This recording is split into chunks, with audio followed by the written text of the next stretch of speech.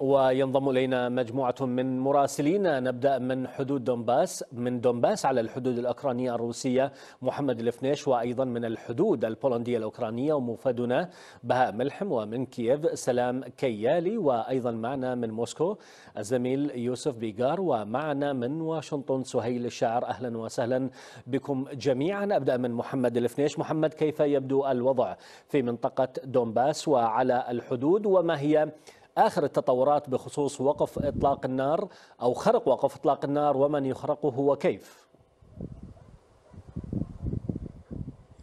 نعم على الوضع هنا لا يزال متشنجا لا تزال لغة الحرب والقذائف مستمرة هنا على الحدود الأوكرانية الروسية من جهة وعلى الحدود إنجاز الوصف من بين أوكرانيا والانفصاليين الموالين لروسيا. هذه الخروقات التي يقوم بها الانفصاليون أو المسلحون الموالون لروسيا تأتي في ظل ارتفاع حدة التوتر بين كييف وبين موسكو وبالتالي الانفصاليون بحسب المراقبين هنا في أوكرانيا وعلى الأقل الموالون لرؤية واشنطن ورؤية بروكسل يرون أنه يحاول الانفصاليون جر أوكرانيا إلى حرب مباشرة مع روسيا وبالتالي يقومون بالقصف المتتالي. شاهدنا البارحة على ليلة سوداء من القصف اليوم. كذلك خلافا للأيام الماضية كان القصف فقط في المساء اليوم القصف كان متكررا في نهار اليوم وأعلن الجيش الأوكراني قبل قليل عن جرحى أحد جنوده ليرتفع عدد الجرحى إلى خمسة جرحى. ناهيك عن مقتل جنديين أوكرانيين كما كشف الجيش الأوكراني هذا الصباح. نقاط عدة من الحدود هنا.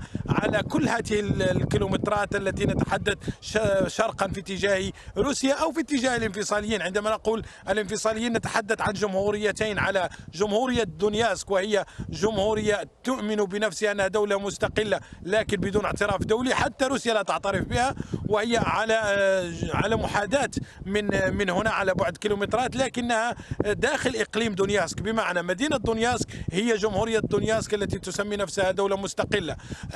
لوهانسك هي جمهورية أخرى تسمي نفسها مستقلة بدون اعتراف دولي بدون اعتراف حتى روسيا وهي كذلك جزء من الانفصاليين.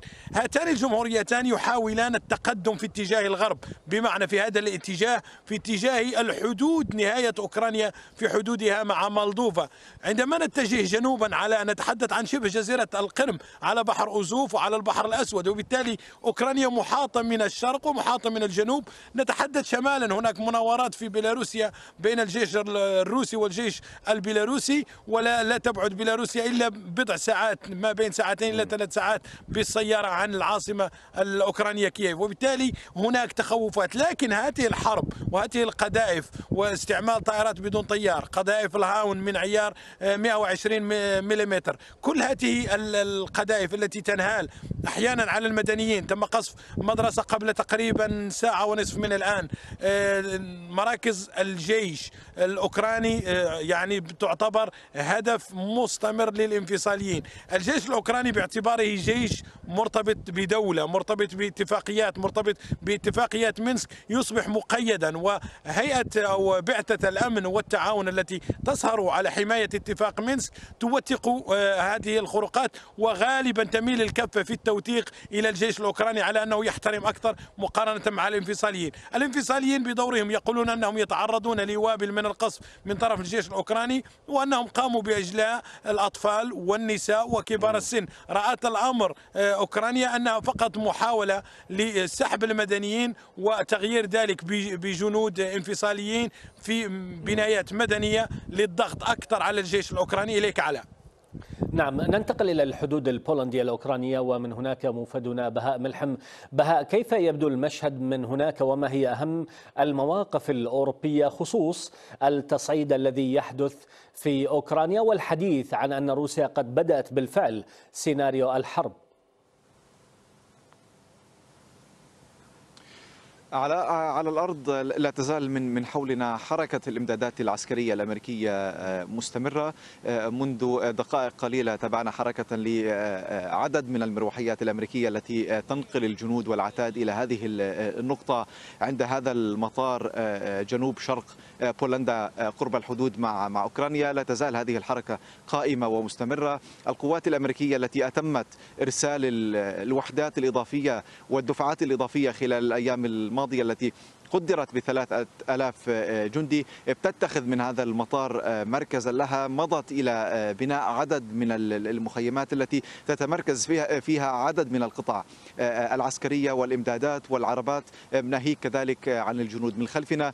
ربما بالإمكان مشاهدة بعض القطع العسكرية المتمركزة على جانب مدرج هذا المطار للقوات البولندية ضمن مظلة حلف الناتو. بالتالي هذه التحركات على هذه المنطقة قرب الحدود مع أوكرانيا تظل مستمرة تسعى من من خلالها الولايات المتحدة إلى بعث رسائل التطمين للدول الحليفة في حلف الناتو وإلى التحضير لما قد تحمله الساعات المقبلة من أي تصعيد وما قد يضطر هذه القوات الأمريكية وغيرها للتعاطي مع مستجدات لا سيما مستجدات على الأرض في ضوء مخاوف من موجات نزوح ولجوء لمئات آلاف الأوكرانيين حال اشتعلت الحرب فعلا خلال الفترة المقبلة.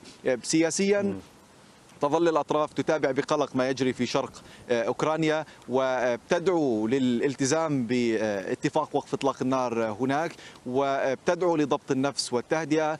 بولندا بصفتها رئيس مجلس هذه الدورة لمنظمة الأمن والتعاون الأوروبية. كانت خلال هذا اليوم دعت لجلسة استثنائية غدا بطلب من أوكرانيا لبحث التطورات في شرق أوكرانيا وللمضي لمحاولة إنقاذ ما يمكن إنقاذه من هذا الاتفاق الهش لوقف إطلاق النار وتطويق أي مخاوف من اتساع دائرة القتال هناك في ضوء تصاعد هذه المؤشرات الغربية حول احتمالات التحرك العسكري الروسي. بالتالي التحركات على الأرض قائمة ومستمرة. القلق قائم ومستمر كذلك في المسارات السياسية وتظل الآمال معقودة على إمكانية تطويق كل هذا التصعيد من خلال هذه التحركات سواء البولندية ضمن منظمة الأمن والتعاون الأوروبية التي تشمل عدد من الدول أو من خلال الاتصالات الأوروبية الروسية المباشرة من خلال التحركات الفرنسية، بالتالي ننتظر ونرى ما الذي قد تحمله الساعات المقبلة في ضوء هذه المساعي فعلا لتطويق هذه التطورات الماضية أكثر فأكثر نحو التصعيد. نعم نتحول مرة أخرى إلى كييف. سلام كيالي مفادنا إلى هناك. كيف هي المواقف السياسية والتقييم الميداني لما يجري في منطقة دونباس؟ وأيضا كيف تستقبل كييف سلة المواقف الأوروبية الداعمة؟ نعم بطبيعة الحال هذا ما كانت تسعى إليه هو جمع المزيد من المواقف الدبلوماسية السياسية الدعم السياسي العسكري أيضا وأيضا الاقتصادي على لا ننسى أن هنالك أزمة اقتصادية باتت تواجهها أوكرانيا بسبب الحشود منذ نوفمبر الماضي. قبل قليل كان قد تحدث زيلينسكي عن مكالمته مع الرئيس الفرنسي إيمانويل ماكرون. هذه هي المكالمة الثانية خلال 24 ساعة. بالأمس كانت المكالمة تدور حول الانتهاكات من الانفصاليين الذين هاجموا حافلة فيها صحفيين عند الحدود بين الانفصاليين والجيش الأوكراني. اليوم المكالمة كانت بطبيعة الحال أتت بعد محادثة الرئيس الفرنسي مع نظيره الروسي بوتين بمعنى أنها كانت للإحاطة بما جرى وأيضا لتثبيت الموقف الفرنسي على ما قاله في التغريدة ولتنسيق المواقف وإطلاع فرنسا على آخر المستجدات على الحدود. الآن ميدانيا منظمة الأمن والتعاون علاء تحدثت عن أكثر من ألفي خرق من قبل الانفصاليين تجاه الأراضي الأوكرانية. وزير الخارجية الأوكراني كان قد قال بأننا لا ننوي أن نقوم بأي عمل عسكري لاستعادة أو لفرض السيطرة من جديد على هذه المناطق التي يسيطر عليها الانفصاليون عليها الانفصاليون. ولكن ما يجب ما يجب القول بأنه أيضا ركز كما قال زيلينسكي بالأمس. عادها اليوم كليبا وزير الخارجية بأنه على الدول الأوروبية في نهاية المطاف أن تفرض الآن العقوبات على روسيا. يجب أن يكون هنالك عقوبات قبل أن يتم الغزو لكي تتعظ روسيا أو تردع روسيا من من أي فكرة أو من من الإقدام بالفعل على غزو أوكرانيا سواء من جهة الشمال أو الشرق أو الجنوب من شبه جزيرة القرم. الآن على اليوم كان من المفترض أن تنتهي المناورات في بيلاروسيا من قبل 30 ألف جندي ومنظومتي صواريخ إس 412 طائرة سوخوي يبدو أن هذه المناورات مستمرة. وزير الدفاع الأوكراني أو قائد القوات المسلحة الأوكرانية المشتركة اليوم كان قد أعلن أيضا بأن هذه المناورات مستمرة بمعنى أن الحذر والحيطة والاستعداد من الأوكرانيين مستمر والاستفزاز على الطرف الآخر من الحدود من قبل أوكرانيا من قبل روسيا عفوا للضغط والحصول على المزيد من المواقف أيضا مستمر. على نتحول إلى موسكو. من هناك يوسف بيغار. يوسف تتبلور الصورة والقناعات لدى الأوروبيين والأوكرانيين بأن الانفصاليين يتحركون بوتيرة متصاعدة. روسيا تمدد مناوراتها العسكرية مع بيلاروسيا. هذه إشارات على أنها تريد أن تذهب للحرب. ورغم ذلك هناك جهود دبلوماسية اتصالات من الرئيس الفرنسي. هذان المساران إلى أين يؤديان؟ على المتحدث باسم الرئاسة الروسية ديمتري بيسكوف قال بالحرف الواحد روسيا هي آخر دولة تفكر في نطق كلمة الحرب وتفكر في إقامة حرب في الوقت الراهن دعا الشركاء الغربيين. إلى ضرورة وقف هذه الحالة من الهستيريا التي تدعو إلى أو تشكك في نوايا روسيا وتتحدث عن إمكانية أن تقوم روسيا بعمل عسكري ضد أوكرانيا. البعثة الدائمة لروسيا في الأمم المتحدة انتقدت وبشدة التقارير الاستخباراتية البريطانية والأمريكية التي تحدثت عن إمكانية عدوان عسكري روسي على أوكرانيا وصفت هذه التقارير بأنها تفتقد للمصداقية وللموضعية وبأن الهدف منها هو إثارة حالة من الاستفزاز وتشجيع سلطات كييف للقيام بعمل عسكري في دنباس. هو ما أكده المتحدث باسم الرئاسة الروسية ديمتري بيسكوف عندما أكد بأن اختلاف المواعيد الآتية من الغرب حول إمكانية قيام روسيا بعمل عسكري ضد أوكرانيا ما من شأنه تشجيع كييف للقيام بعمل عسكري في دنباس وإنهاء هذه الأزمة بالقوة العسكرية في وقت تتمسك فيه موسكو بالعمل الدبلوماسي والسياسي في إطار ضرورة تنفيذ اتفاقات مينسك. تبدو اللهجة الدبلوماسية والسياسية هي طاغية على الكرملين والخارجية الروسية. لكن في إطار أيضا أو في تزامن مع مناورات عسكرية اجراها الرئيس الروسي فلاديمير بوتين أو أشرف عليها بوتين بالأمس في إطار استراتيجية أو الرد على الاستراتيجية والتي جرب فيها عدد كبير من صواريخ الفرد الصوتية وهي رسالة واضحة إلى الاتحاد الأوروبي وحلف شمال الأطلسي وواشنطن في ظل التوتر المستمر بين روسيا والقوى الغربية حول الضمانه الأمنية. ناهيك ما سمعناه اليوم من وزارة الدفاع البيلاروسية التي قامت بتمديد مناورات حزم الاتحاد في الأراضي البيلاروسية المشتركة مع روسيا بأسباب مختلفة من بينها بأن الأوضاع متصاعدة في منطقة دنباس وبأن الغرب أيضا يقترب من الحدود الروسية البيلاروسية، هناك إشارات مختلفة من موسكو تارة تقول بأنها متمسكة بالعمل الدبلوماسي والسياسي وترفض كل السيناريوهات التي يدعو إليها الغرب للقيام بعمل وعدوان عسكري ضد أوكرانيا. وتارة أخرى تستمر موسكو في استعراض قدرتها العسكرية في رسائل واضحة للأطلسي ولواشنطن. نتحول أيضا إلى واشنطن. من هناك مراسلنا سهيل الشاعر سهيل نائبة الرئيس تقول أن بولندا أو عفوا أوكرانيا ليست وحدها في هذه المواجهة. هي محاطة من كل جانب بالجنود المعادين. ماذا خلف هذا التصريح؟ وهل من مواقف أخرى بخصوص التوتر على الحدود والحديث عن إمكانية قرب وقوع الحرب؟ نعم الولايات المتحدة على تقوم بمراقبة الوضع على الحدود الأوكرانية الروسية عن كثب وكذلك تراقب الحدود بين أوكرانيا وبيلاروسيا. ويمكن للولايات المتحدة من خلال صور الأقمار الاصطناعية أن ترى تشكيلات القوات الروسية المحتشدة على الحدود وتظهر هذه الصور وجود تشكيلات هجومية على استعداد للانقضاض على أوكرانيا.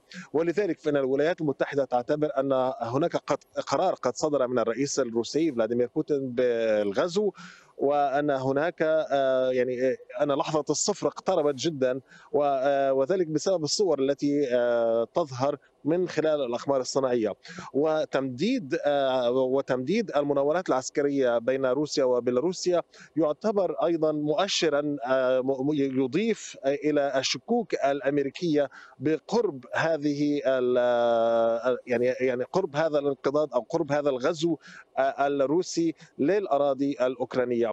الولايات المتحدة حذرت مرارا من أن روسيا قد تستخدم السيناريو الذي استخدمته عام 2014 حينما قالت أن هناك مناورات عسكرية ومن ثم اقتحمت شبه جزيرة القرم وضمتها إليها.